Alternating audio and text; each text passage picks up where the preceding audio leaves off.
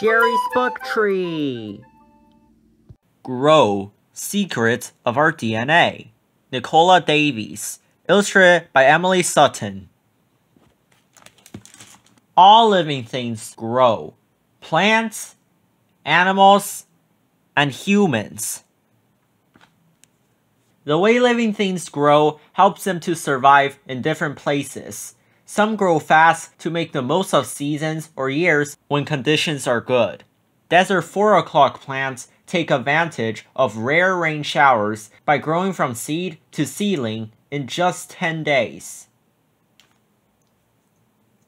Turquoise killifish hatch, grow to the size of your little finger, and lay eggs in 15 days, just in time before the puddles they live in dry up.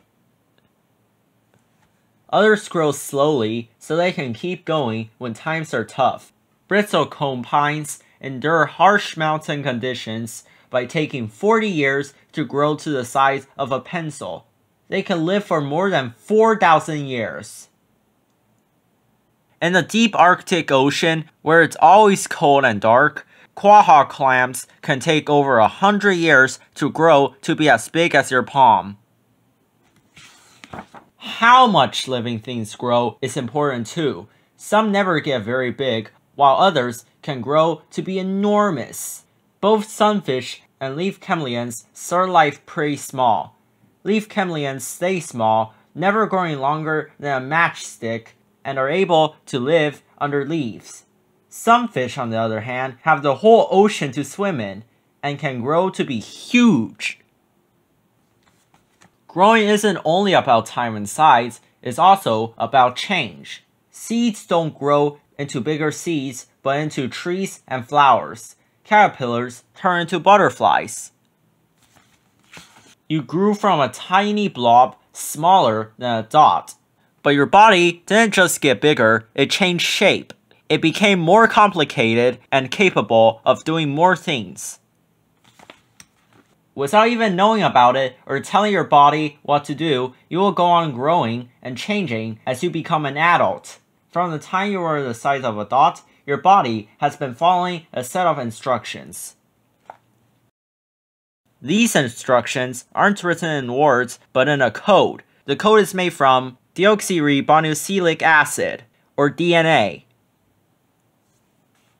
If you could see DNA, it will look like a spiral ladder, with lots of rungs or steps. There are four kinds of building blocks, or bases, shown here in different colors. Two bases form a step, or base pair.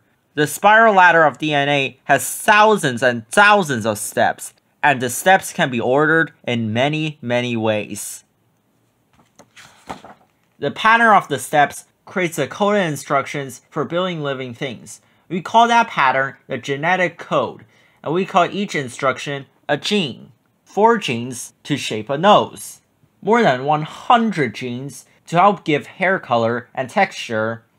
At least 16 genes to give eyes their color. It takes more than 20,000 genes working together to build a human body and keep it running. That's about six and a half feet, two meters of DNA. Luckily, DNA is very skinny and folds up so small that you need a microscope to see it. That's how a copy of your genetic code fit inside of you when you were just a dot, and how it fits inside almost every one of the cells that make your body. Half of your genetic code comes from your biological father, and half from your biological mother, that's why you may look a bit like both of them. The exact mixture of instructions that you get from your biological parents isn't exactly like that of your biological brothers or sisters if you have any, unless you have an identical twin. It's unique. By studying how similar or different genetic codes are, scientists can tell who's related to whom. Although your genetic code is unique, it's very similar to that of your biological family and shows that you are closely related. It's also quite similar to the genetic code of every other person on Earth, because we are all human beings. Animals and plants have genetic codes too. Human genetic code is very similar to chimpanzee genetic code. Chimpanzees are our closest animal relatives.